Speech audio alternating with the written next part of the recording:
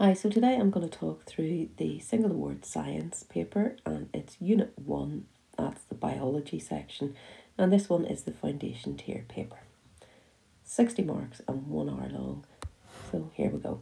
This is of course the specimen material that CCEA provided.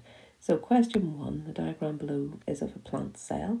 And we see the plant cell here. Name the parts labelled A, which is here, and B, which you see is a bit around the outside. So of course A is the nucleus and B is the cell wall. And you see because it's the foundation tier paper, you're giving you a list of uh, words that you can choose from. Two marks for that, so one mark for each. So B, the boxes below show the names of some of the parts of an animal uh, cell and their functions.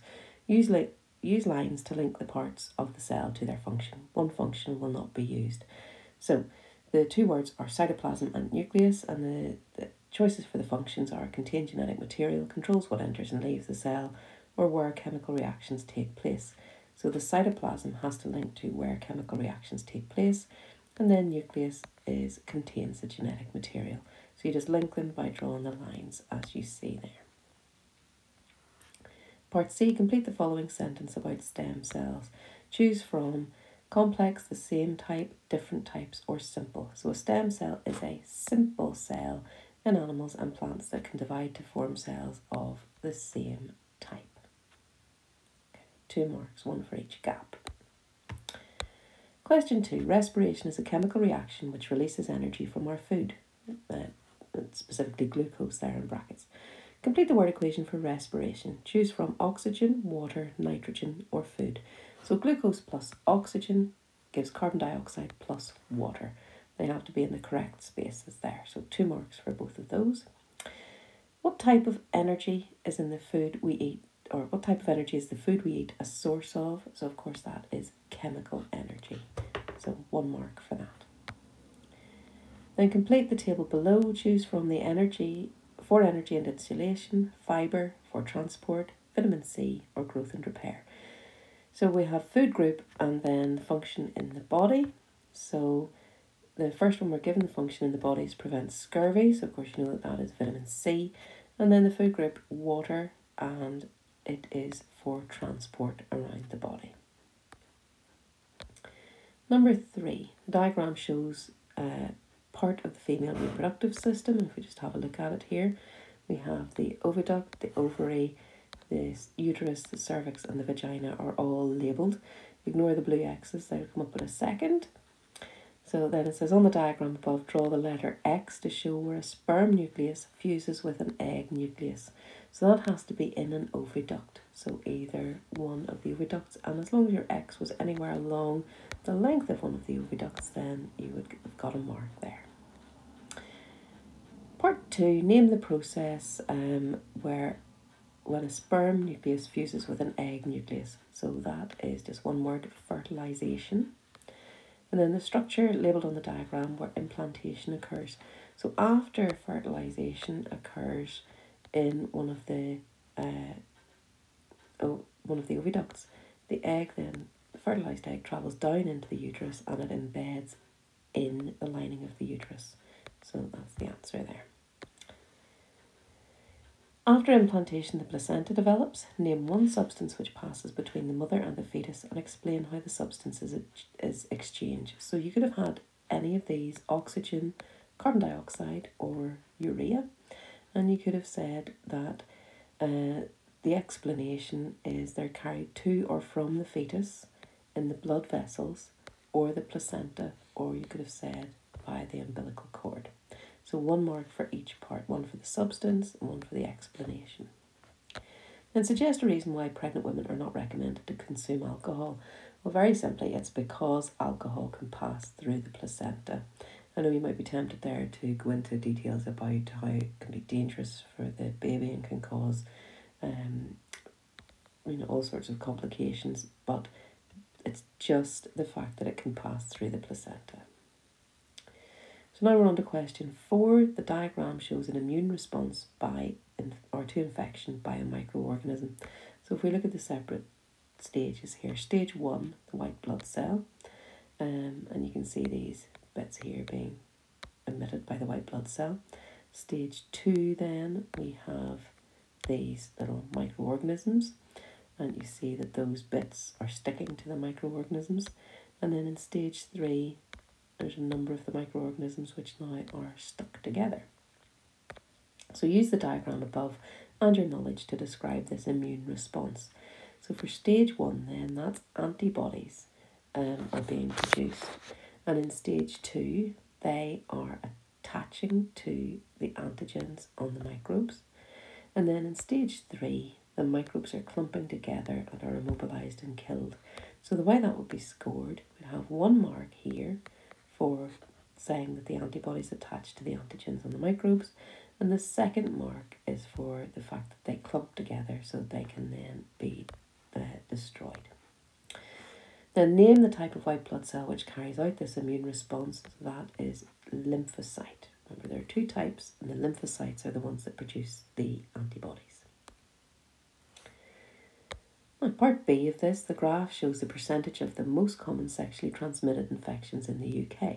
So if we look at the graph here, we've got 52% is chlamydia, genital warts 35%, got genital herpes is 8%, and syphilis is 1%. And then we have this section here, which is gonorrhea, and it hasn't been um, given a percentage, which gives you a clue what's going to happen in the question. So calculate the percentage of sexually transmitted infections caused by gonorrhea and show your working out. So to do that, what you need to do is look at all of the numbers that you're given. So we have, and then take them away from 100. So 100 is the total that you would have because it's a percentage. Take away 52 for chlamydia, 35 for the genital warts, 1 for syphilis, and 8 for genital herpes. That leaves us with 4, and the answer is 4%. So you're getting one mark for showing how you're working it out, and one mark for getting the right answer then suggest a way the government could try to reduce the number of people getting sexually transmitted infections. So really, if you're set, if you're suggesting anything sensible here, you're probably going to get a mark. But the the big hitters here would be like an education program to um, help people understand what the risks are, giving out free condoms, or you know advertising to make sure that um, people are aware of the risks and um, how to prevent getting STIs in the future. Now I've got um, quite a long passage here. This one is more like a, um, you know, in English when you get a passage and you have to read it and the word escapes me at the minute. But it shows a corncrake and that's this type of bird. Um, you don't really need to know what a corncrake is, but you do need to be able to take the information from the passage and apply it to the questions on the next page. So it says, first of all, the world population of corncrakes has been estimated to be between 2 to 3 million pairs. And you'll notice the word pairs there is highlighted or is in bold, and that is actually important later on. Corncrakes spend the winter in Africa. They migrate northwards to arrive on their breeding grounds in Europe from early April onwards. They live and lay their eggs in long grass in open fields. And adults and young birds return to Africa in August and September. So the bird was once common in Ireland, but in 2005 only 164 singing males were heard in the country. The fall in corncrake numbers in Ireland is mainly due to the earlier cutting of grass fields by farmers. Grass fields are now cut for the first time in May. Large machines attached to tractors are used to cut the grass. So grass fields are usually cut from the outer edges towards the centre of the field.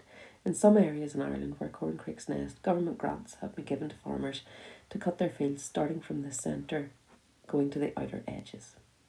Okay, so that gives you a little bit of a picture of what this bird does, the sort of activity it's involved in. So it says use the information in the passage on the previous page and your knowledge to answer the following questions. So what is the maximum estimated number of individual corncrakes in the world? You remember on the previous page it said two to three million pairs. So the maximum there would be three million pairs and 3 million pairs is 6 million birds. Okay, so I've just written underneath 2 to 3 million pairs. And they want the individual birds, so it's 6 million.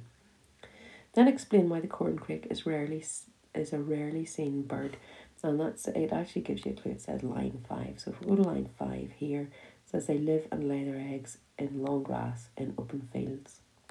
So my answer there is just they live in long grass. Then suggest two reasons why the earlier cutting of grass fields leads to a fall in corncrake numbers from lines 7 to 11. So if we look at lines 7 to 11, that's this section here, it says they were once common in Ireland, blah blah.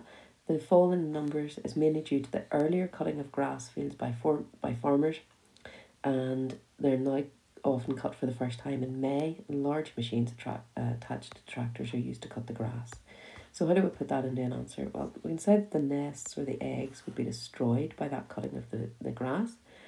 Um, the food you could mention would be destroyed. You could say that maybe the chicks are killed or the adults are killed or they have nowhere to live or it's ruining, and uh, that should say, the habitat.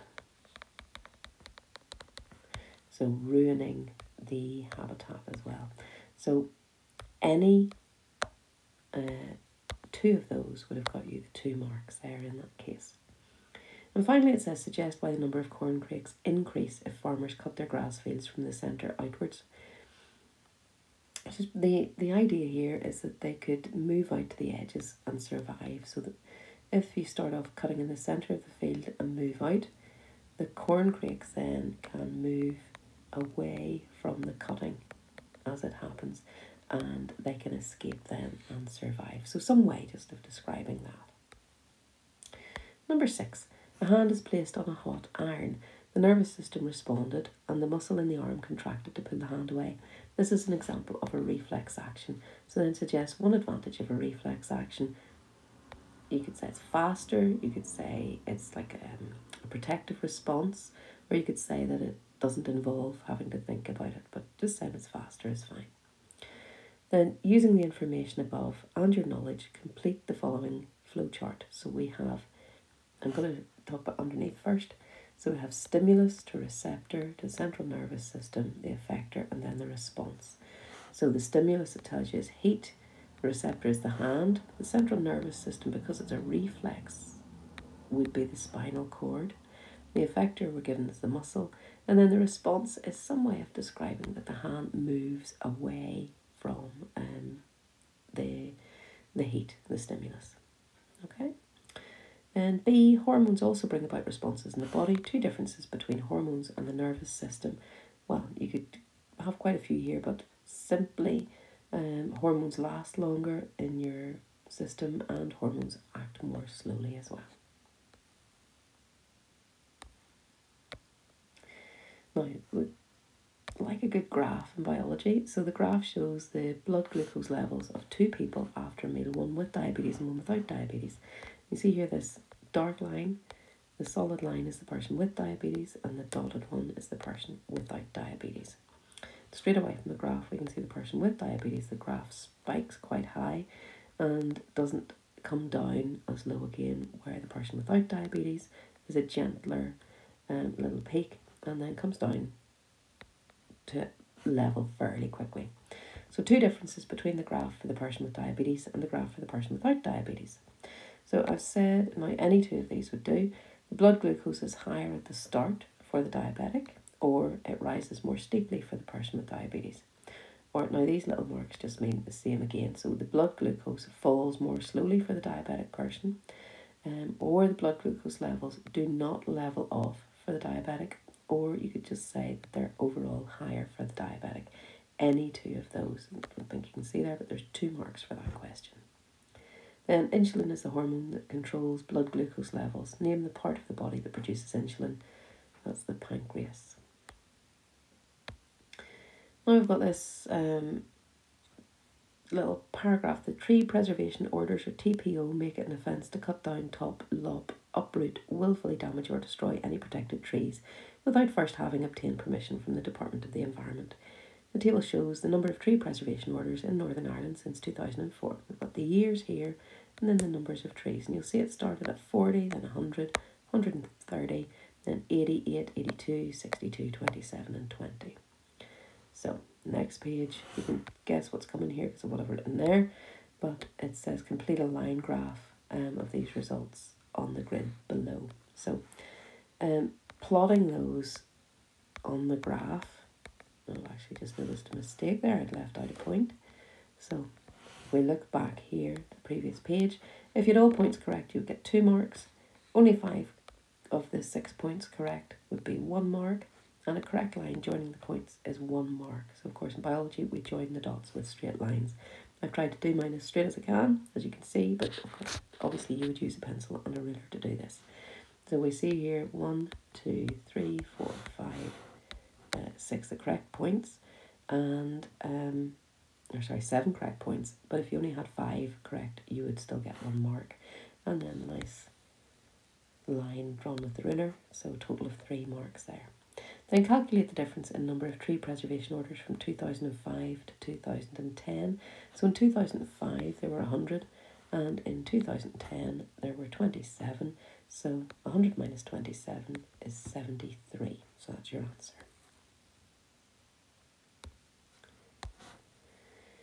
Part B, tree preservation orders are one example of how the government tries to protect our environment. Suggest one other way in which human activity can have a positive effect on our nature reserves. So just one way, one mark. So you could have said nature reserves, protecting fish stocks, international treaties, or anything about good agricultural practices. Just one of those would get you your mark there. Now we've got a graph showing skin cancer rates in numbers per 100,000 in the UK between 1975 and 2010. So the year across the bottom here, 75 up to 2010, and the skin cancer rates per 100,000 on the y-axis going up the side there. And you see females as the, uh, the solid line, males as the dotted line. So it says stick two conclusions that can be made from the information provided. So the first thing you could say is that the number of people with skin cancer has increased. You see the trend here as it's going up, has increased every year since 1975, or you could say over time. The second thing you could say is, looking at this again, the number for the, the females here, you see is higher than the males. So it's just sort of said the number of females is always higher than males. That's the number of cases in females. And then you could say that in uh, 2010, here, the number of cases in male and females are the same. Or you could all alternatively say that when the rate of skin cancer rises in females, it also rises in males. So any two there would get you two marks. This table then shows how the age of a mother affects the risk of having a child with Down syndrome. So you can see here from 25 to 50 the age is increasing and the risk of having a child with Down syndrome also increases from 1 in 1350 all the way up then to 1 in 10 at the age of 50. So it says a test can be carried out to see if a child has Down syndrome before it's born. However, there's a 1% or 1 in 100 risk of miscarriage or loss of the baby with this test. Using the information provided, explain fully why this test is normally only offered to mothers over the age of 35 and not offered to mothers under 35 years. So you need to be identifying the fact that the, the risk of Down syndrome increases with the age of the mother. So if you're under 35, the risk of miscarriage exceeds the risk of uh, Down syndrome. But if you're over 35, the risk of Down syndrome is greater than the risk of miscarriage. So what that means is if you're testing um, women under the age of 35, they're more likely to miscarry than they are to have Down syndrome. So it's, it's important to get the balance right. So part two, apart from the risk involved, suggests one other factor that may influence a mother's decision whether to take the test or not. So you could you could mention something about her religion. It could be against her religious beliefs. She may believe that, that you know she ethical issues with it, or she could have other children and worry about how it would impact them if she had to care for a child a child with Down syndrome. And finally, on this page, skin cancer and Down syndrome are both caused by a change to genetic material in body cells Give the name that describes a change to genetic material. So that is mutation. Close to the end here, question nine is one of these long questions. It's a six mark one. And it says, describe the stages a newly developed antibiotic would have to go through before it can be prescribed by doctors. So you, your account should include, it's very important to read this bit when you're answering a long question because it basically tells you what you need to put in to get the marks. So the names of each stage and what's involved, the reasons for each stage, and one ethical issue involved. So The first stage is in vitro testing, and you could talk about testing in a laboratory or testing on a line of cells or using human cells, but not an actual, you know, full organism, and that is to see does the drug work. So the name of this the um test is in vitro testing, and it's to see, or the name of the stage is in vitro, and it's to identify does the drug actually work. Next stage is animal testing, and it's testing on whole body systems before we test on humans. Then the next, uh, or the next stage after that would be clinical trials, and that's when a drug is given to humans. And the reason for that is to see if it works or to see if there are side effects or to ascertain what the correct dosage should be. So that's the names of each stage and what is involved, the reasons for each stage. An ethical issue involved could be that people would be opposed to animal testing for ethical reasons. You would need to explain that, you know, and say why they might be opposed to it. Um, then uh, that you could say that the drugs may have different effects on animals um, than they do on humans because you have um, different species involved. And then the final stage I forgot to mention is that the drug is licensed for use when it's shown to be safe. Or when there you know when you can demonstrate that there are few side effects or the side effects are not going to outweigh the good that the drug will actually do. Now the way that that's marked, you see there I have six or eight sorry little uh, marks circled. So if you got between six and eight of them, you were getting five to six marks. Three to five uh, ticks really is three to four marks, and one to two would be one to two marks. Now, the other component of this is says you'll be assessed on your written communication skills, including the use of specialist scientific terms. So answering a question like this in single award, it's always a good idea to have, you know, one to be writing in sentences, so to have a full sentence and to full stop capital letter after the sentence, and to make sure you're using scientific language where you can, but you're actually writing your answer in a flowing style so that it makes sense to the examiner. And if you do that, you would hit the top bracket on each of those uh, marking um, criteria. This, I think, is the final question, number 10. So the graph shows the effect of exercise on the heart rates of three students. We have A, B, and C. See here, C stays quite low, B has a spike that comes back quickly, and A takes a little bit longer to go back down. So calculate the maximum increase in the heart rate of student A during exercise. So we're looking for the from the their resting rate here at 70 to the top of their peak there, which is at 140. So it's coming out at 70. Then the percentage increase in the heart rate of student A during exercise was going from 70 up to 140. So that's 100% because it's doubled.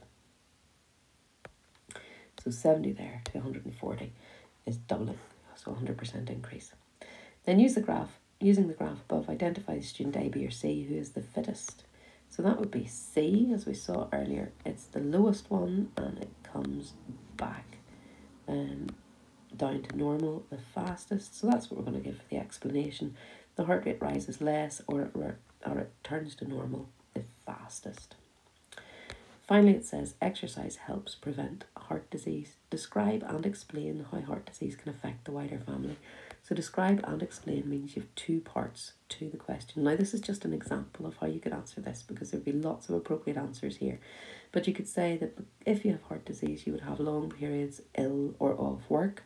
So, and that's usually like the parents or maybe a father because men are more likely to have heart disease. So, your explanation is no one would be there to look after the children. So, that's how it could affect the wider family. Okay, so that is all of the foundation tier. And have a look at the higher tier as well if you'd like to see the style of questions in it. Thanks for watching.